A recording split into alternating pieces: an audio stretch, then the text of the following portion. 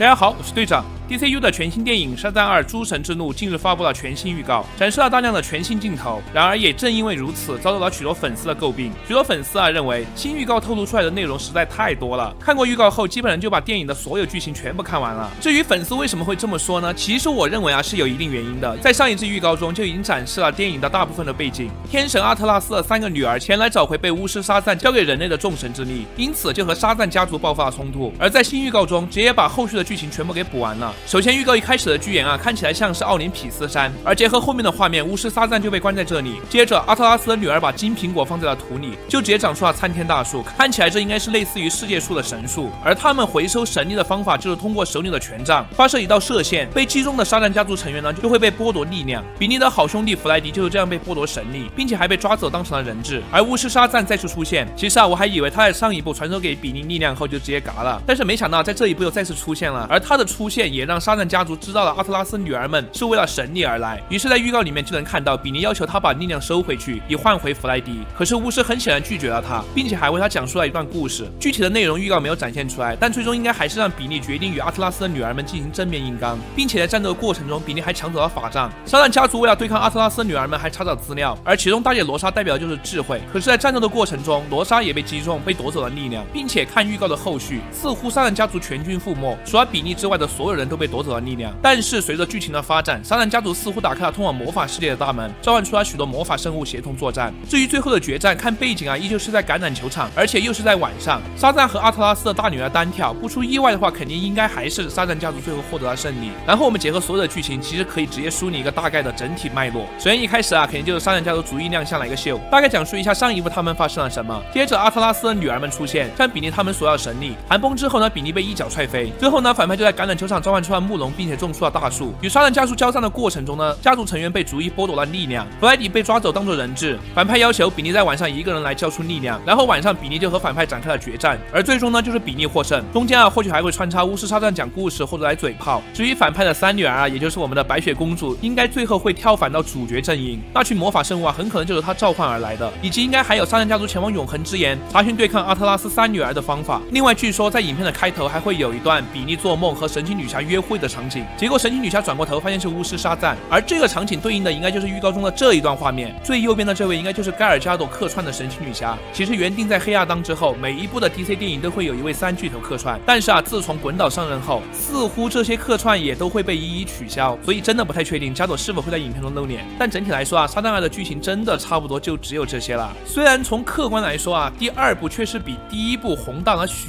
多，但是感觉从预告里面就已经把电影的剧情已经看得差不多了，所以期待值肯定还是会大打折扣的吧。也希望电影上映后能狠狠。的打我脸吧！那以上就是我对《沙赞二》新预告的所有感想。大家如果觉得视频还行，可以给个一键三连。那我是队长，我们下期再见，拜拜。